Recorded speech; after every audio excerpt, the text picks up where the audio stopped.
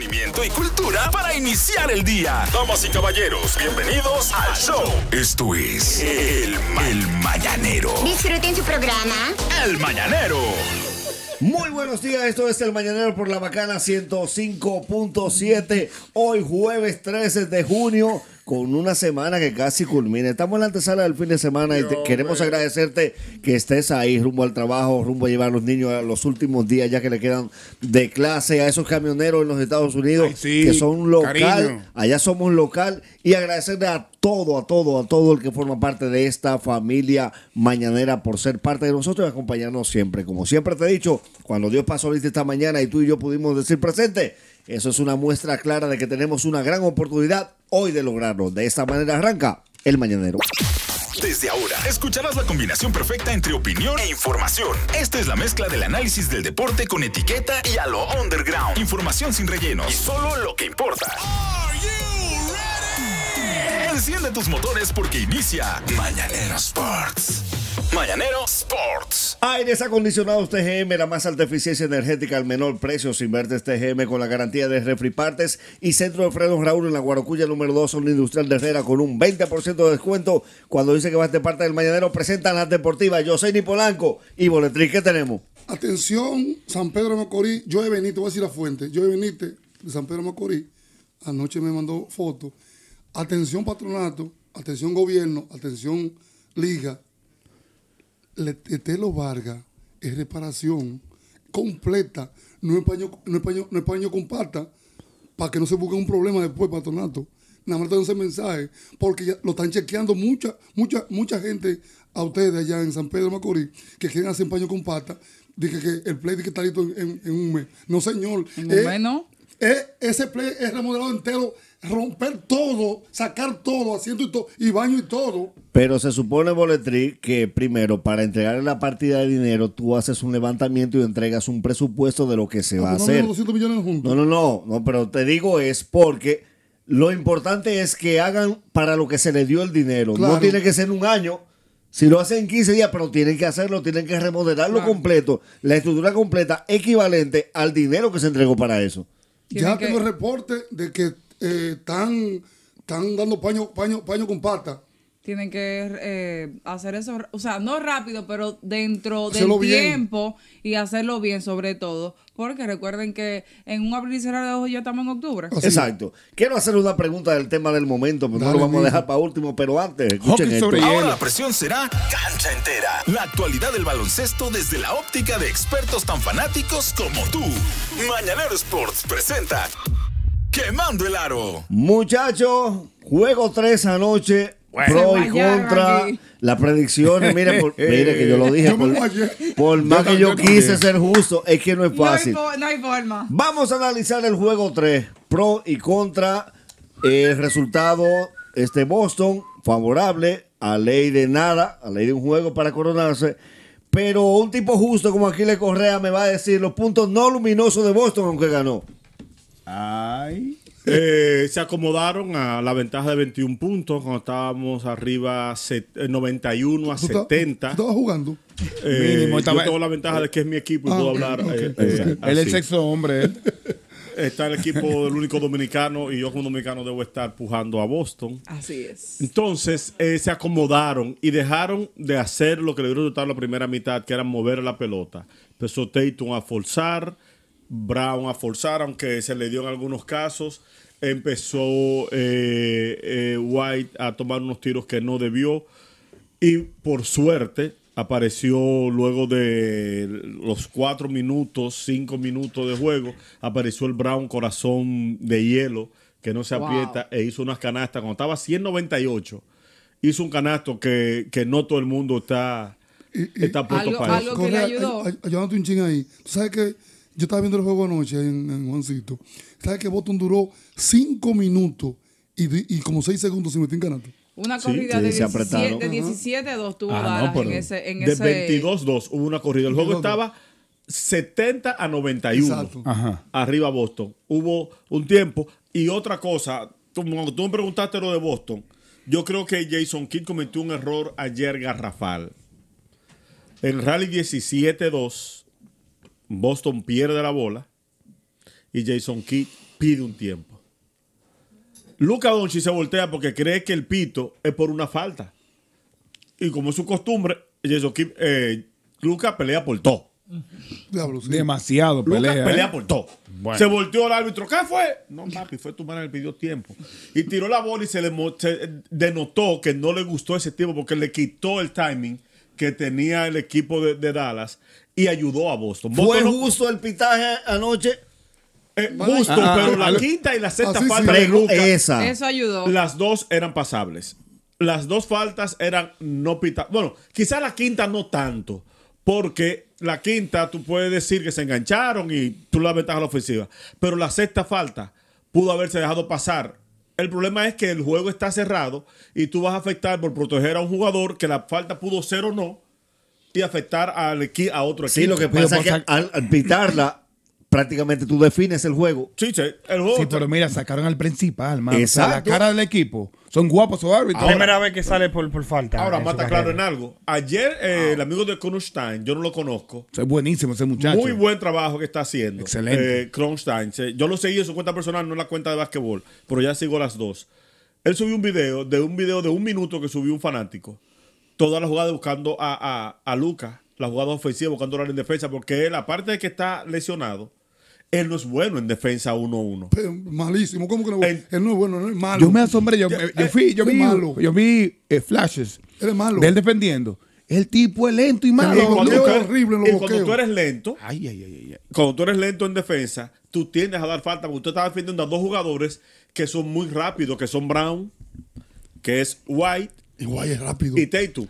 Holiday, 47 puntos en la serie, cero bola Perdido. Tremendo. Yo sé, ¿qué tuviste del juego? ¿Qué te pareció? Bueno, fue un juego bastante interesante donde ah, en la primera mitad, en el primer cuarto, Boston no jugó tan bien. Ellos estaban debajo por 22 puntos. Sin embargo, creo que en parte de Boston ellos eh, hicieron los, los ajustes necesarios defensivo y ofensivamente. Y el tercer cuarto fue eh, donde el equipo, donde yo entiendo que el equipo ganó el partido. Una excelente un excelente tercer cuarto de Jalen Brown que metió 15 puntos y le daba una ventaja eh, al equipo de Boston en ese partido. Yo creo que de, de ganar Boston, el MVP tiene nombre y apellido y es Jalen Brown. Nagüero, cuando un equipo tiene una banca que mete 16 puntos y los 11 de tiro de 3 mete de 7-1, ahí no, no hay nada que buscar. Señores, y última, un segundito, Nagüero. Eh, los últimos equipos que han barrido eh, en el 2018 el equipo de Golden State a Cleveland y el 2007 los últimos que han barrido es San Antonio a Cleveland también. Señores, a mí me está pasando algo en esta serie. Me acuerda mucho la época de cuando ganó Houston los dos campeonatos. Que yo no sé por qué motivo. Ustedes no se dan cuenta que esos campeonatos de Houston 2000, eh, eh, 99, Sí, 97. es por ahí. Cuando se retiró Jordan, no son, no, casi no se mencionan. No, 95, 96. No se, no se mencionan. Para mí, a nivel de negocio, está pasando con esta, con esta final lo, lo que está- lo que pasó en esa temporada. Que pasa como sin pena ni gloria, porque le falta como un picantico, como un. Todos los años decimos lo mismo si no está LeBron ni Curry. Lo dijimos con Milwaukee. Sí, Siempre. lo Y con dijimos, Denver. Pero tú Lo vas a ver- dijimos con Denver. Pero negro, tú vas a ver eh, los ratings. Sí, pero independientemente Sí, de los serio, a nivel, a nivel de, y vuelvo y digo, a nivel de mercado y de negocio. El juego está muy bien, que gane Boston, está muy bien. Pero a nivel de negocio, le falta como un picantico. Recuerden algo, cuando llega la final de cualquier deporte, ya el negocio está hecho. Porque usted está jugando una serie que comenzó hace seis meses. Ya está y, y ese mini torneo que la NBA le metió en el medio de la temporada, sí, los Ah, bueno, resultados sí, de sí. eso fueron tremendos. Quiero hacerle una pregunta a ustedes, pero do- dos datos que ya lo habíamos hablado en la semana. Les dije que por sí estando o no estando, Es lo mismo. era nada para Claro. Boston. También digo, y cuando le caigan arriba a Lucas porque no defiende, si Lucas defiende, no puede jugar la mitad del partido. Es el armador, es el- la, la primera opción de tiro, y encima de eso, si tú le pones defender, no hay ser Forma. humano que aguante eso. Ayer hubo un cuadro de cómo le va los primeros tres cuartos y el último cuarto y desaparece. el Sí, porque Sí. llega desgastado. A Curry le pasó eso por mucho tiempo y tuvo que empezar a ceder pelota porque no es fácil. Muchacho, eh, que hablé con Nagüero fuera del aire. Jason Key dijo que yo no estoy de acuerdo con él. Ahí viene la pregunta. Esa es la Haz la pregunta. pregunta, tira tú entonces. Respuesta rápida y sin titubeo. Claro. Dice Jason Key que el hombre de Boston es Brown y no Tatum. Dime tú. Totalmente eh, de acuerdo con Jason Kidd. Jason, ¿A quién le correa? Sí, sí, sí. Jason Brown, De Brown. acuerdo. No es el mejor jugador. Porque la No. pregunta, la pregunta. El hombre del equipo. Ah, ok. Exacto. Si estamos hablando de, de, de esta El- temporada, el totalmente de acuerdo. guapo, guapo. totalmente. Ponle tres. Me mataron todo. porque- Eh, Ale, ¿quién El es el hombre, el hombre, Brown. Vete contra, vete en contra. Tú eres nuestro sexto hombre y es hora de que entres al juego. Llama y sé parte del show. 809-333. O tengo que decir el guion. No creo que tenga que decir el guion, ¿o sí? ¿O po- por qué le pusiste el guion? 809-333 No, suena raro. Le hace falta como un ritmo, ¿no? La mejor excusa para... Qué raro. Es tu momento mañanero. Llama ahora. 809-333-1057. Llama ahora. ¿Estás de acuerdo de que el hombre de Boston en este momento es Brown y no Tatum? Hello. ¡Ay, Dios mío! Buen día. Adelante. 94 y 95 fueron los campeonatos de Houston. Gracias, Sí. gracias, hermano. Gracias. Muchas gracias. Otra cosa, otra cosa. Yo soy de lo que digo que para, para ser mejor jugador, la consistencia tiene que existir. Y si me voy a eso, Jalen Brown ha sido sólido siempre con sus números. Muchas gracias, hermano. Gracias. Próxima llamada, Mañanero Buena. El hombre, el hombre, el hombre de Boston. contigo. Ahora mismo. Brown. Bueno, Nagüero. Adelante.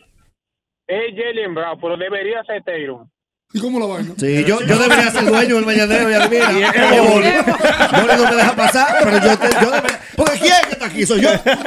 Boli está aquí. Boli no vino ayer. Y tú serías mejor jefe que Boli. No, no, yo tengo problemas con los pacos.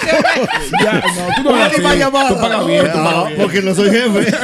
Hello. Saludos, muchachos. Adelante. José Montales de la Romana, Correa. Hermano, este fue de lo que se desmontó a, a inicio de la serie. No, nu- nunca, nunca. Siempre Boston, tú el camino. Nosotros los de Golden State estamos con Boston. Miren, señores, Boletri, maestro, por, por lo menos diga que usted eh, se equivocó.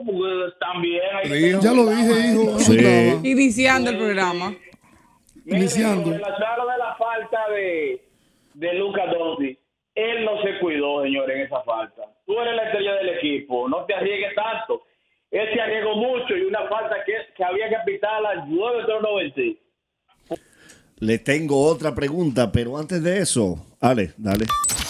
Tiempo de analizar todo lo que pasa en el diamante. Aquí no se escapa ni Lou Brock. Datos, opinión e información serán debatidas a continuación. Mañanero Sports presenta El Béisbol. ¿Alguien sabe qué comió al mediodía Jamer Candelario ayer? Bueno, Hay que hacerle una, una prueba de pipí. Se, enchuchó, sí. se enchuchó, se enchuchó. No, no diga, Candela. no lo diga así. Ah, Se sí. empantalonó. Se empantalonó. Tenía, tenía que ser, tiene que justificar ese contrato que le dieron. Claro. Eh, Dio sí, mano tiene ayer. que sacar el bate. Dígame de los muchachos, Stanley Marte, ve- vi que dio el palo ayer. Y lamentablemente terminó la, la racha de Fernando Tatis en el día de ayer. eh, quedó. Que, en el último turno se puso muy paciente. Cogió base por bola. No lo quiso fue- tirar. fue- eso se ve que no está jugando para. Sí. No, no le está dando mente a eso. jugó para el Sí, equipo. sí, sí, sí. Y San Diego ganó, creo. Y que, Ah, te, que sí, Telmate ganó- también la sacó. Y San Diego 5-4, ganó. sí. Boletri, ¿qué tenemos? Miren, eh, señores, los Yankees nueve consecutivos en la ruta, nueve en línea, desde el 2009, cuando fueron campeones, no sucedió una cosa así. Los Yankees tienen, señores, 8 y 2 en los últimos 10 y en, en junio. Es el mejor equipo en ofensiva y defensiva, el mejor picheo. Tienen todo en el momento los Yankees de Nueva York en esta temporada. Miren, hay que hablar de Jorge López porque consiguió trabajo, consiguió trabajo con el equipo de los Cachorros de Chicago. Ustedes saben que él estuvo envuelto en una situación un poquito complicada con el equipo de los Mets, en un partido donde él salió frustrado porque no le fue bien eh, contra los Dodgers, si mal no recuerdo. Y mientras él salía del terreno, cuando lo expulsaron, él lanzó el guante hacia el público y luego ya ustedes saben las declaraciones Peor- donde dijo... eh, peor las donde dijo- que las acciones. Exactamente, donde dijo que guapito, él ¿eh? juega para el peor equipo eh, de la MLB, así que Digo, consiguió sincero, un ¿eh? contrato de liga menor con los cachorros de Chicago y ahora esperar, ¿verdad? Primero que él, Claro. en un momento determinado que él esté frustrado, primero que se esté tranquilo y después entonces que... Las verdades no se que- dice. Este es uno Claro. de los peores lugares para trabajar el mañanero. No, ¿Y qué no. yo hago? Callado me quedo. ¿Cómo Y el que me pregunta, digo, no, esto es O una sea, tú tienes, tú tienes verdades ocultas. No, claro que sí. porque cuando me vaya. No me voy a soltar Dime ahora. cinco, dime cinco. No, ahorita. Mire, eh, eh, Osi Guillén dijo ayer. ¿Qué hijo de Osi Guillén, Y yo Dios soy mío. tan malo por no estar dirigiendo a los voiceos. En el comentario de los voiceos. Sí. Oye, Él dijo eso. El mismo, él ya upa el mismo. Porque nadie lo extraña. Nadie dice, ¿por qué tú haces comentando? No te quiere, mi ¿Ustedes no creen que sus opiniones a veces desacertadas le ha afectado para, para entrar de nuevo a la MLB? Él no es diplomático. Él no es diplomático, Y en él. esos negocios hay que ser diplomático. ganó en el 2005 con Moisés. No, no, yo sé, Y yo- la Guaira Todo tiene lo que él 47 piense lo dice, como no- sea. La Guaira tiene 47 años. No, no, yo no lo sé, tipo-. Sí, pero llega a Miami y dice que admira a Fidel Castro, un tipo bruto. Un tipo Exacto. Le falta diplomacia.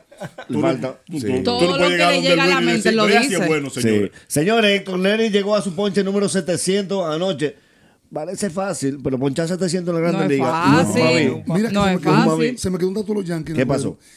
En la temporada completa, todos los abridores han tirado más de cuatro innings. Todo. Eso es bueno. Todo. Eso es muy bueno. La teoría del reloj se cayó con los lanzadores. Eh, Flamen no- Valdés uno bueno y uno malo. Anoche tiró el malo. Cuatro entradas, cinco carreras. Él venía a tirar nueve entradas de una sola carrera. a palo. Anaheim. Así que che- a- chequen la próxima salida que va a pichar bien. Señores, Porque, eh, pichando es uno y uno. sí. Yo, yo soy de los que criticado el exceso de perreo de Siri. Eh, Pero- sí, pero- sí, Siri la noche le fue muy bien a nivel de defensa y bateo. Y el tipo eh, hizo una jugada que topó un out en, bueno, el center field. centerfield. Y el tipo, es de verdad que el tipo a veces me, me molesta como el perreo y el chavainismo. Pero el tipo lo hace bien. No, no hay forma El de tipo que tú le digas a bien. él, El tipo Siri, bájale el al tipo- perreo. El tipo parece a César Cedeño. ¡Ay, sí! No, no. Que no. Sí, sí, sí, sí, correcto. no, sí. No, no, no. Tú Yo, sabes yo digo, yo no. Señores, César Cedeño era un peloterazo. No, no, Pero yo sé.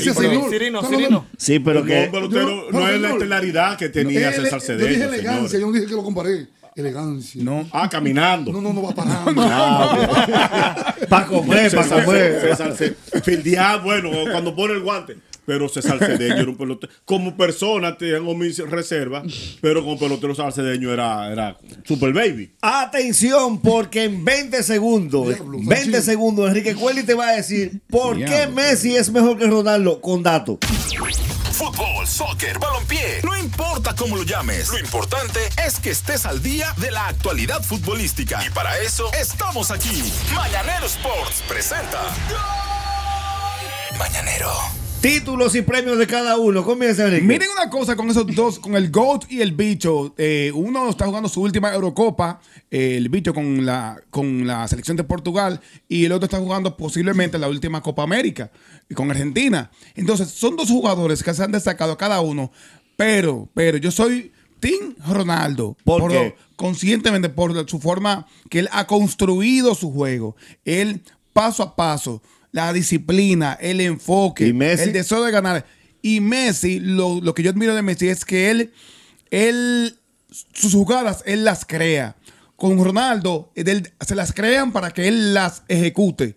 Sin embargo, con Messi, él las crea, él las ejecuta y pone a su equipo a jugar. Pero Messi ha jugado con más presión. Eh, Porque Messi viene de Argentina detrás de, de Maradona. Eso sí, ahí te la puedo dar. Pero en el, No, eh, pero en el- en Me- el Messi ha caso, en el tenido caso de compañía. en el caso de, de Ronaldo, vino con la sombra de Luis Figo. Él tiene esa sombra de No, Luis no, Figo. Figo no había hecho nada. Pero- ¿Qué había hecho Figo? ¿Qué había hecho Figo? Era más o menos fi- figura Hola. de Portugal. Esa generación de Figo quedó a deber.